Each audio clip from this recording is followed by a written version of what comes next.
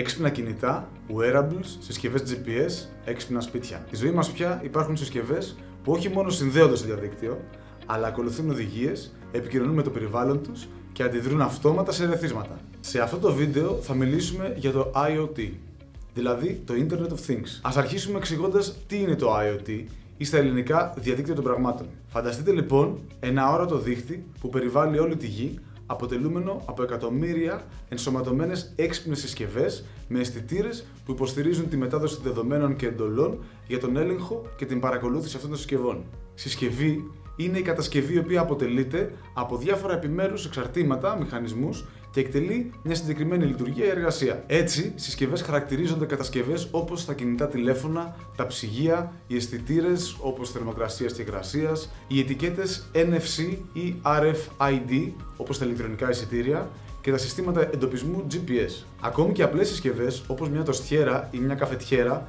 μπορούν να γίνουν έξυπνες συσκευές με κάποια τροποποίηση. Διότι έξυπνη συσκευή ονομάζουμε αυτήν που είναι προγραμματισμένη να λαμβάνει και να χρησιμοποιεί τα ερεθίσματα του περιβάλλοντός της για να αυτοματοποιεί τις λειτουργίες της. Σκεφτείτε ότι την πρώτη έξυπνη συσκευή τη δημιούργησαν τέσσερις φοιτητές πληροφορικής το 1982. Ήταν μια μηχανή πώλησης αναψυκτικού, στην οποία εγκατέστησαν διακόπτες και με τη βοήθεια ενός προγόνου του σημερινού ίντερνετ κατάφεραν να ελέγξουν πόσα μπουκάλια αναψυκτικού χαρακτηρίζονται ως κρύα ανάλογα με το χρόνο παραμονής τους στο ψυγείο. Σημείο σταθμός για να φτάσουμε σήμερα να μιλάμε για έξυπνες συσκευές ήταν το 1985, χρονιά κατά την οποία διατέθηκε για εμπορική χρήση το ίντερνετ και τα συστήματα εντοπισμού GPS που μας βοηθούν να εντοπίζουμε είτε σταθερά είτε κινούμενα σημεία πάνω στον πλανήτη. Όμως, το σημαντικότερο όλων ήταν ότι εφευρέθηκαν οι διευθύνσεις των σημείων σε αυτό το αόρατο δίκτυο της γης, τα λεγόμενα IPs ή στα ελληνικά Διευθύνσει διαδικτυακού πρωτοκόλλου. Μια διεύθυνση IP είναι ένας μοναδικός αριθμός που χρησιμοποιείται από τις έξυπνες συσκευές σε ένα δίκτυο υπολογιστών για τη μεταξύ τους αναγνώριση και συνεννόηση. Το Internet of Things αποτελεί τη σύνδεση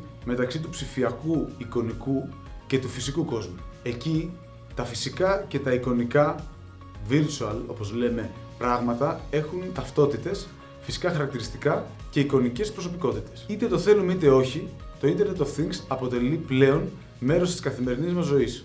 Το εισιτήριο των μέσων μαζικής μεταφοράς είναι έξυπνο. Το σούπερ μάρκετ που ψωνίζουμε είναι έξυπνο.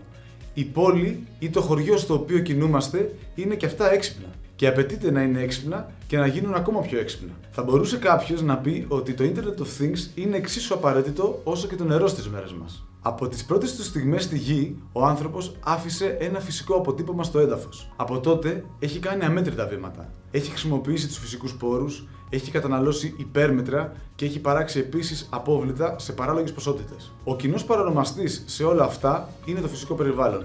Είμαστε φυσικές οντότητες που διαβιούν σε ένα φυσικό περιβάλλον.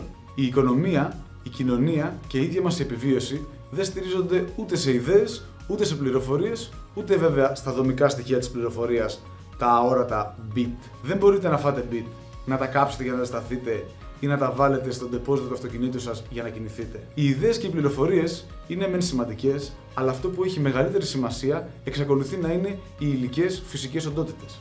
Σήμερα, η επιστήμη της πληροφορικής οργανώνει τις πληροφορίες που προκύπτουν από εμάς, που είμαστε φυσικές οντότητες, από το ηλεκτρονικό μας αποτύπωμα, με απότερο στόχο να βελτιώσουμε τον τρόπο ζωής μας, αλλά και να μειώσουμε το οικολογικό μας αποτύπωμα. Και αυτό το καταφέρνει μέσα από δεδομένα που συλλέγει από τις έξυπνες συσκευές. Το οικολογικό μας αποτύπωμα είναι ένας τρόπος να μετράμε τις επιδράσεις που προκαλούν οι ανθρώπινες δραστηριότητες πάνω στη γη. Αντίστοιχα, το ηλεκτρονικό μας αποτύπωμα είναι το μοναδικό σύνολο ανιχνεύσιμων ψηφιακών δραστηριοτήτων, δράσεων, συμβολών και επικοινωνιών που εκδηλώνονται στο διαδίκτυο ή σε ψηφιακές συσκευές όπως το like στο facebook, το subscribe στο youtube και άλλα. Για να είναι μια συσκευή έξυπνη δεν αρκεί να τη βάλετε στην πρίζα. Ουσιαστικά πρέπει να συνεργάζεται το υλικό hardware με το λογισμικό software και να έχουν μεταξύ τους ένα διάβλο επικοινωνίας. Α σκεφτούμε το παράδειγμα ενός κατοίκου από τη Σκανδιναβία που θα αποφασίσει πριν πάει να οδηγήσει το έξυπνο αυτοκίνητό του να αυξήσει την αίσθηση άνεσης του κλιματισμού